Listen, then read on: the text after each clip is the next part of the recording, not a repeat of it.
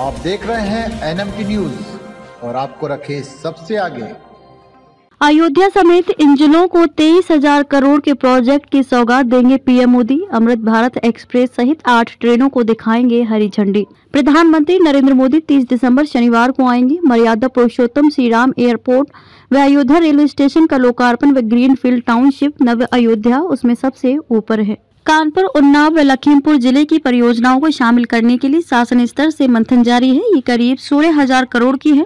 पहले तेईस हज़ार करोड़ रुपए की परियोजनाओं में उन्नीस हज़ार करोड़ की साठ से अधिक परियोजनाओं का लोकार्पण एवं चार हज़ार एक सौ पंद्रह करोड़ की लगभग पचास परियोजनाओं का शिलान्यास होना है। जनसभा स्थल लोकार्पण व शिलान्यास का कार्यक्रम प्रस्तावित है। अयोध्या धाम से प्रधानमंत्री नरेंद्र मोदी शनिवार को देश भर की कुल आठ ट्रेनों को एक साथ हरी झंडी दिखाएँगे। इसमें दो ट्रेनें अयोध्या आनंद विहार, वंदे भारत एक्सप्रेस और दिल्ली दरभंगा अमृत भारत एक्सप्रेस लखनऊ होकर चलेंगी।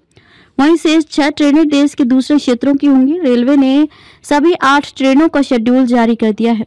लोकार्पित की जाने वाली केंद्र व राज्य वित्त पोषित परियोजनाओं में मर्यादा पुरुषोत्तम श्री राम अंतर्राष्ट्रीय हवाई अड्डा, अयोध्या धाम रेलवे स्टेशन का प्रथम चरण, राजऋषि, दशरथ, स्वशासी राज्य चिकित्सा महाविद्यालय नया क्वीन हो मेमोरियल पार्क, पंचकोशी परिक्रमा मार्ग बड़ी बुआ का उपरिगामी सेतु शामिल है। अयोध्या में 220 व 132 केवी की भूमिगत व शिरोपरी लाइन, सादतगंज से नया घाट तक स्पाइन रोड भक्ति पथ धर्म पथ श्री जन्म भूमि पथ, राम की पेड़ी में अविरल जल प्रवाह की remodelling part A Suryakund Suryakund में light and sound show Suryakund मंदिर के सूर्य मंदिर का जीर्णोद्धार, अंतर्राष्ट्रीय राम कथा संग्रहालय में डिजिटल लाइब्रेरी सोहावल के ग्राम पिरखौली में सॉलिड वेस्ट मैनेजमेंट प्लांट का नाम लोकार्पण के लिए पाइपलाइन में है।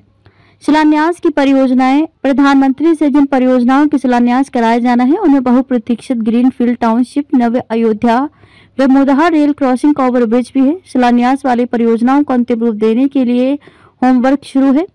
सोहावल, नवाबगंज, होते हुए Vikram Rud bypass, ring road, Ayodhya railway Dham station, phase two, तीस एकड़ क्षेत्रफल मेगा फाउंटेन एवं मल्टीमीडिया को बत्तीस एकड़ में वशिष्ठ कुंज आवासीय योजना, चौरासी कोष, चौदह कोसी व पंच कोसी परिक्रमा मार्ग को चौड़ा किया जाना, सुधार एवं विकास, अयोध्या सोलर सिटी, अयोध्या नगर निगम व अयोध्या विकास प्राधिकरण कार्यालय, अकबरपुर से रेलवे लाइन का दोहरीकरण, सीता झील में वैज्ञानिक तरीके से लिगेसी वेस्ट का निस्तारण, धर्मपथ के किनारे 25 स्थानों पर सूर्य स्तंभ animal birth control breeding of dogs Raebareli road पर कल्याण मंडप, सादतगंज चौराहा पर प्रवेश द्वार धर्मपथ व प्रवेश द्वार गुप्तार घाट के तीसरे चरण के प्रस्तावित कार्य, मुक्ति, बैकुंठ धाम का संवर्धन व विकास, राम की पेड़ी पर दीपोत्सव एवं अन्य मेले एवं महोत्सवों के लिए दर्शक दीर्घा का निर्माण, डॉक्टर भीमराव अंबेडकर अंतर्राष्ट्रीय खेल परिसर रेलवे क्रॉसिंग के ओवर ब्रिज आदि हैं।